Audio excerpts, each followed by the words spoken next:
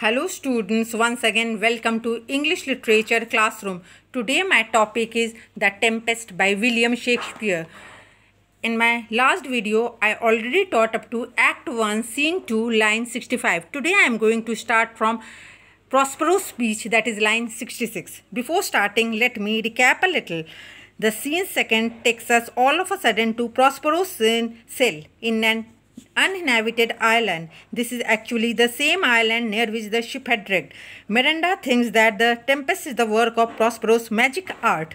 Her tender heart moves at this painful sight. She asks her father to make the wild water of the sea calm. Prospero assures her that no harm has been done to the people in the ship. He begins telling her his story. Now let's see what the story is. Okay, Prospero tells, My brother means Prospero's brother and thy uncle means Miranda's uncle called Antonio.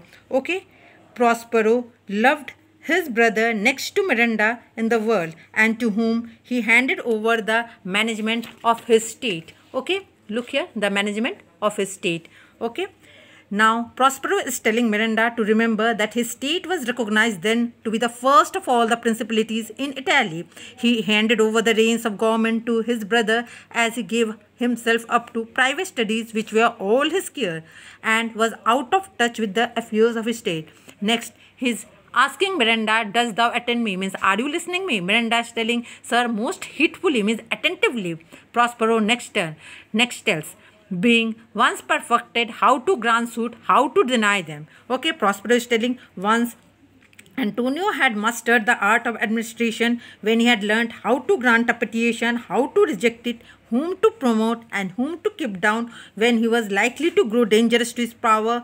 He remade the men that were mine. Okay, now in this way, Antonio became the ivy okay? Antonio became the ivy which had hid my princely trunk. Now princely trunk is here referred to prospero. Look this is a trunk this is prospero and it was hidden by all these climbers means this ivy and antonio became the ivy okay?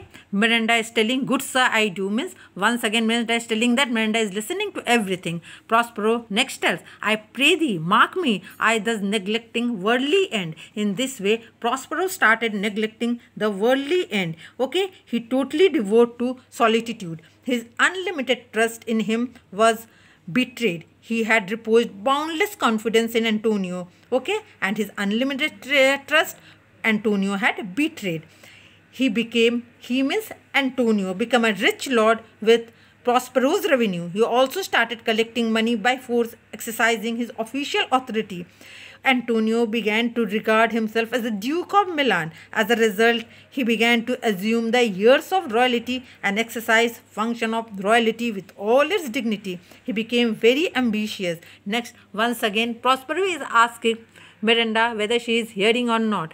Miranda is telling your tells her would cure deafness. Okay, up to this much. In my next video, I will continue with this scene. Until then, goodbye.